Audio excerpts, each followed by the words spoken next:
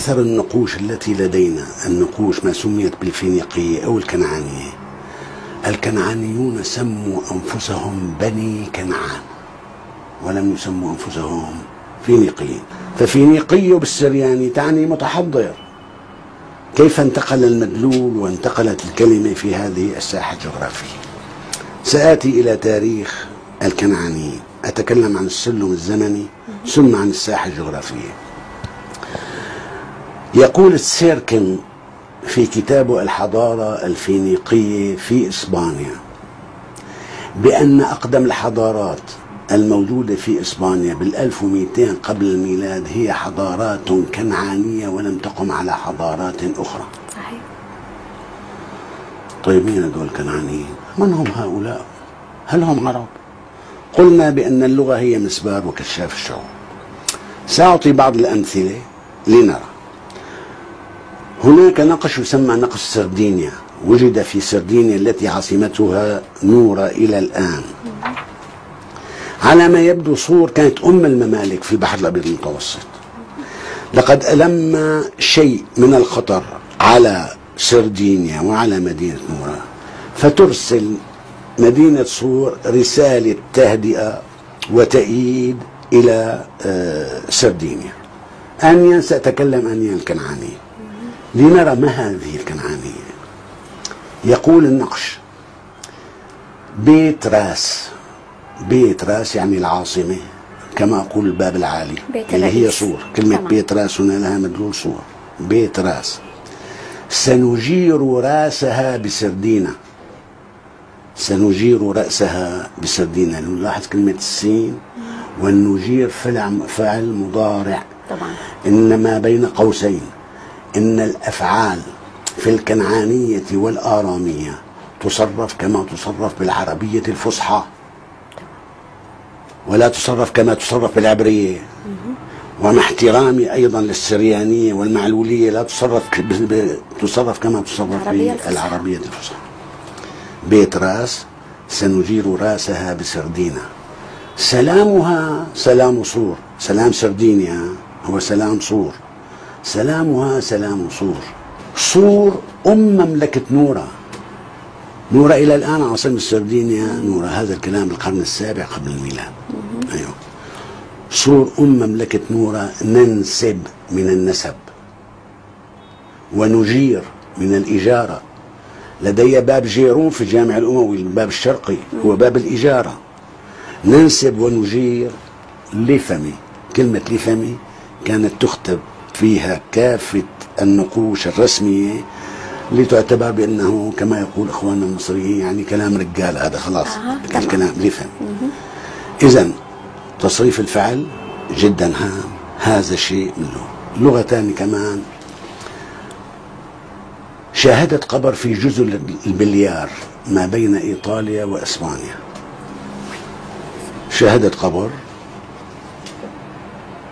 مكتوب عليها لأذن لأدسك ملك قاريت. نحن نراها ملقارت. اسم الملك أو الإله.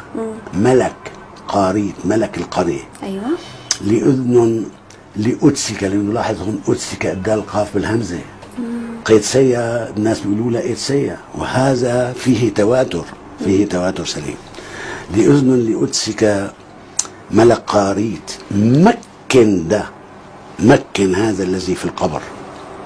حاط ندب أطار بر النعوة. بر النعوة هو الكاهن المسؤول عن الدفن. لقد أحاط وندب وأطار بر النعوة. ران الشاهدة شو يقول ران برجد بنت طاب نحال. ما معنى ران؟ الران في الكنعانية هي القبر. الران في وماذا جاء في القرآن الكريم؟ كلا بل ران على قلوبهم. ران بمعنى قبر وستر على قلوبهم. وإلى الآن كلمة ران في منطقة الزبداني وفي آه، منطقة جنوب سوريا السويدة ودرعا. الران هو الحجر الكبير المحفور الذي يوضع به الماء. لكن أساس هذا الران هو كان تابوتا. فزال عنه المعنى فأصبح ران إذا حاط فعل ماضي ندب فعل ماضي أطار فعل ماضي. ران برجد اسم علم برجد.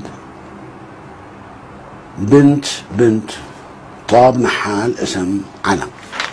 نقش ثاني على شاهدة قبر. فعل وندر وحصد ذنبه. شده ينعم ويسعد جوارك أيها الإله.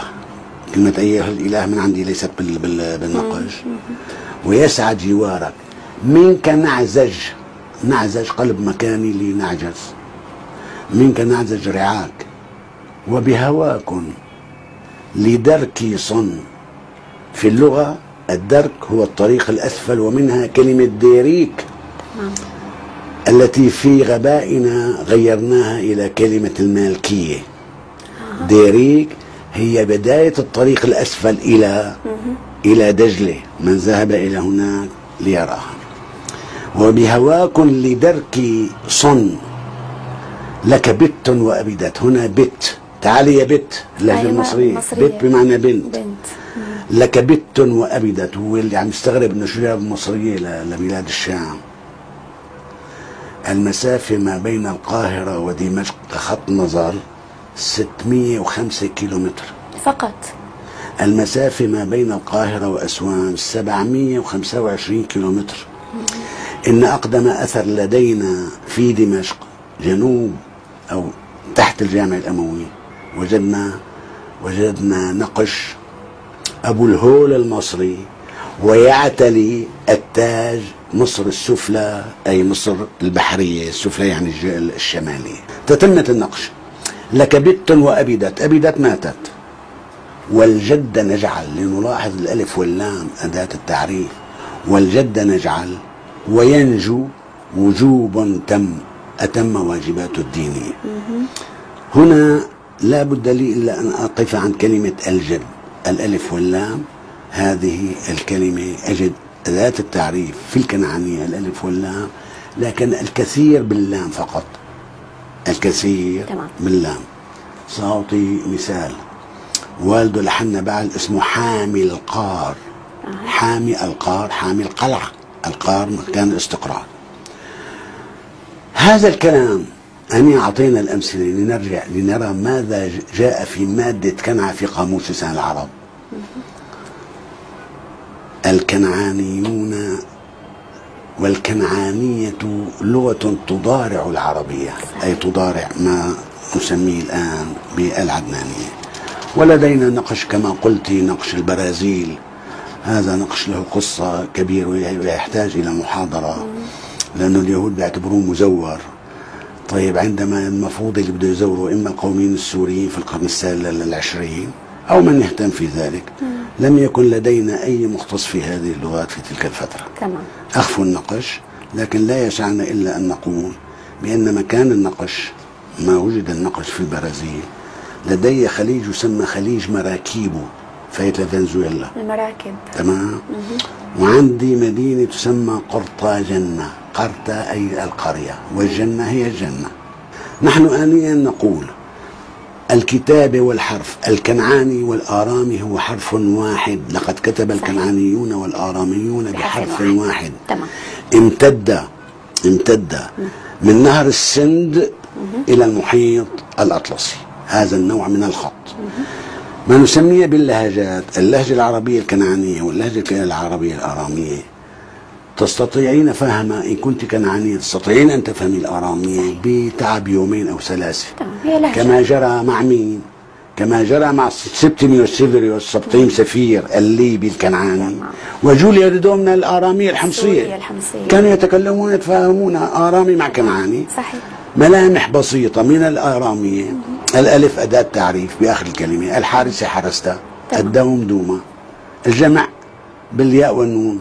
جسر جسرين عندي خمسة جسور. ماردين بدي مارد ماردين نصب نصيبين عندي الألف بدها تدخل على آه، جسرين. يجب أن أقول جسرينة. لكن الألف تأكل النون تصبح جسرية. دارية. قدس قدسين قدسية دار دارين دارية. طيب. يعني هذا الملمح. فأعود إلى هذا الخط. هذا الخط الحد الأدنى نقش السفيرة 1200 قبل الميلاد بثوابت علمية وامتد وبقي ساريا تقريبا تقريبا أقول القرن الأول قبل آه، الأول ميلادي وتطور بشكله. عندي الخط الآرامي خط الحضر عندي الخط النبطي إنما من مدرسة واحدة. لكن أكثر النقوش من أسوان إلى السند ومن أسوان إلى إلى المحيط ال- ال- الأطلسي بما فيها إسبانيا وجزر البليار وإيطاليا. لدي هذا الحرف موجود. تمام. وبقي الغرب يكتب به فدعي بالخط آه اللاتيني. هنا ما قيل بقى عن تطور الحرف اللاتيني بأنه مأخوذ من الكنعاني بالتطور البسيط جدا. أجد بأن الحرف اليوناني أخذ من الكنعاني. وقالوا بأن اللاتيني أخذ من اليوناني هذا خطأ. لماذا؟ عندنا لغة الرسانين الرسانين الذين أسسوا روما بسمون إتروسكيين أو إتروريين أو توسكانيين إنهم أربع أسماء. كتبوا بالخط الكنعاني الآرامي إنما عوض ما يكتبوا من اليمين لليسار كتبوا من اليسار لليمين تمام. فأتت اللاتيني أخذت من الرساني وليس من اليوناني بمعنى آخر.